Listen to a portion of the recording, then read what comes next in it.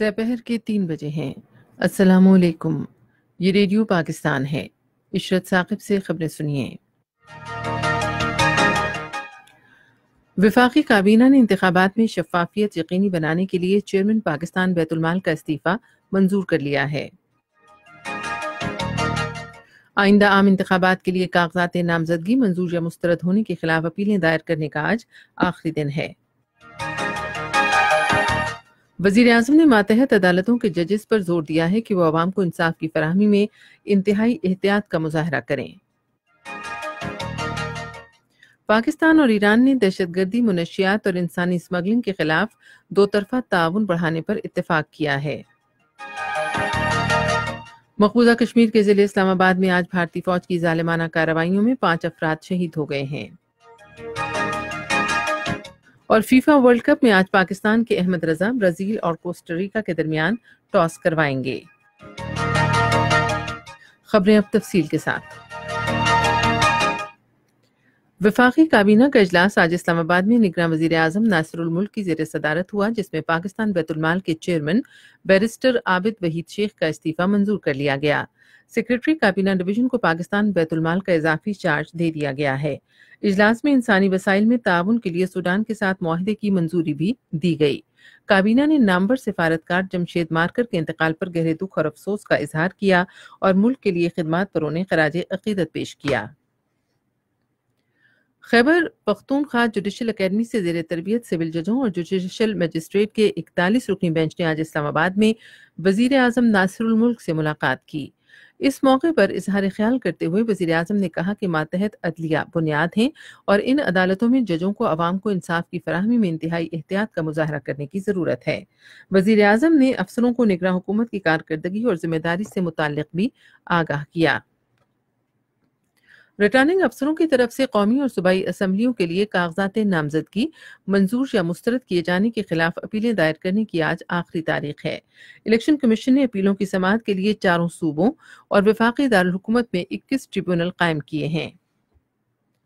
قومی اسمبلی کے اسپیکر سردار ایاز صادق نے چیف الیکشن کمشنر کو ایک خط لکھا ہے، جس میں انہوں نے قومی اسمبلی کے حلقے این اے ایک سو انتیس کے ریٹرننگ افسر غلام مرتضی اپل کو ہٹانے کا مطالبہ کیا ہے۔ خط میں ایاز صادق نے کہا کہ ریٹرننگ افسر جانبدار ہیں اور ان کے سیاسی مخالف پاکستان تحریک انصاف کے امیدوار علیم خان کی حمایت کر رہے ہیں۔ ایاز صادق نے کہا کہ اگر ریٹرننگ افسر کو عہدے سے ہٹایا گیا تو یہ قبل از وقت دھاندلی تصور ہوگی۔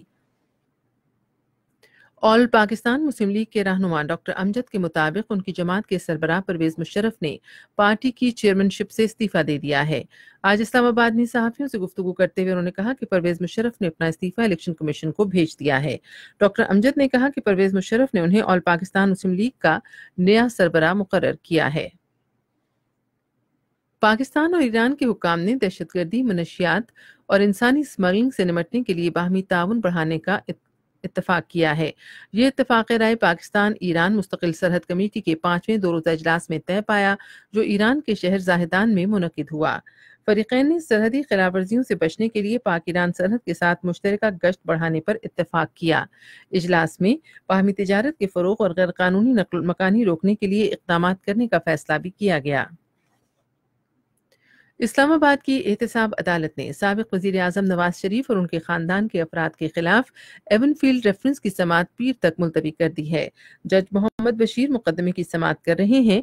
وکیل صفائی خواجہ حارث اگلی سماعت پر بھی اپنے دلائل جاری رکھیں گے۔ یہ خبریں آپ ریڈیو پاکستان سے سن رہے ہیں۔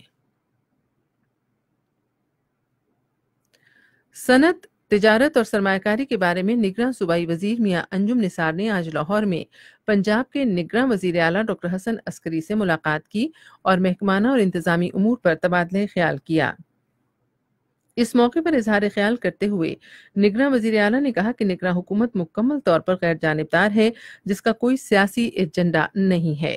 انہوں نے کہا کہ حکومت شفاف اور منصفانہ عام انتخابات یقینی بنائے گی۔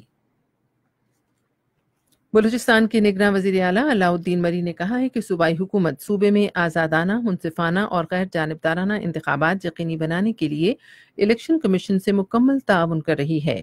آج کوئٹہ سے جاری ایک بیان میں وزیر اعلیٰ نے کہا کہ آئندہ عام انتخابات کے لیے امن و امان کی صورتحال مزید بہتر بنانے کے حوالے سے تمام ممکنہ اقدامات کیے جائیں گے۔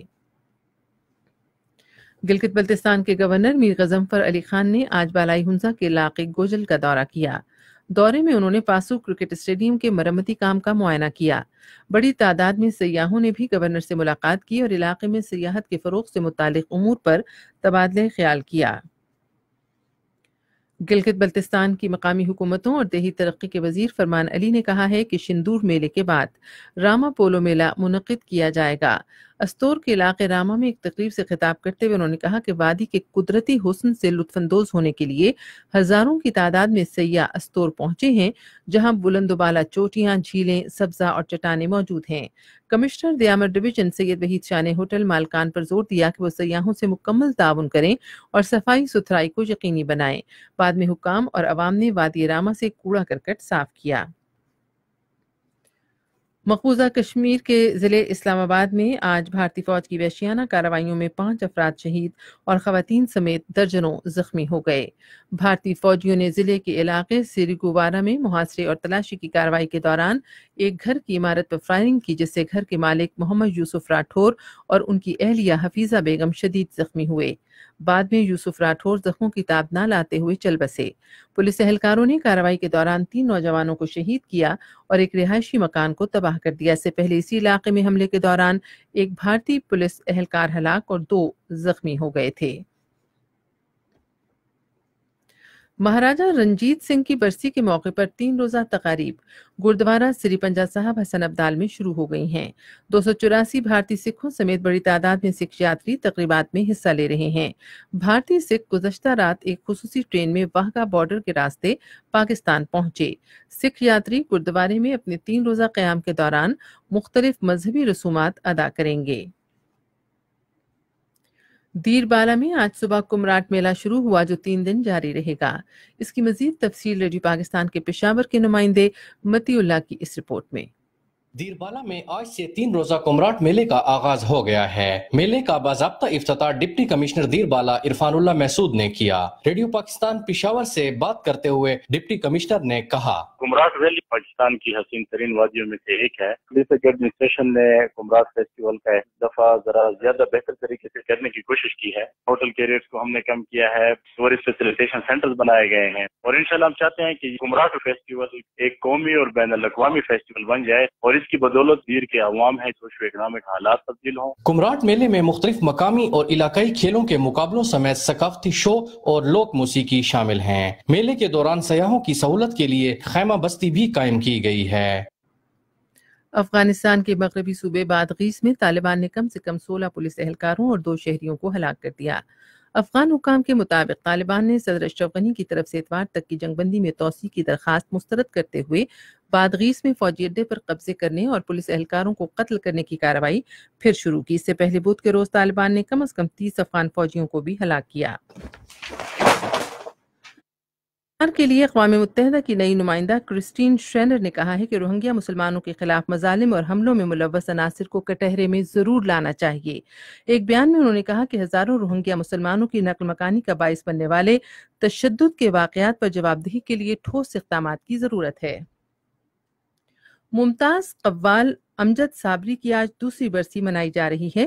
انہیں بائیس جون دو ہزار سولہ کو کراچی میں قتل کر دیا گیا تھا۔ پاکستانی نو عمر احمد رضا آج فیفا کے عالمی کپ میں برازیل اور کوسٹریکا کے درمیان ہونے والے میچ کا ٹاس کریں گے۔ سیالکوٹ سے تعلق رکھنے والے احمد کا خاندان گزشتہ تین نسلوں سے پیشہ ورانہ لیگز کے لیے ہاتھ سے تیار کی جانے والی فٹ بال کو تیار کر رہا ہے۔ اہم خبروں کا خلاصہ آخر میں ایک بار پھر سن لیجیے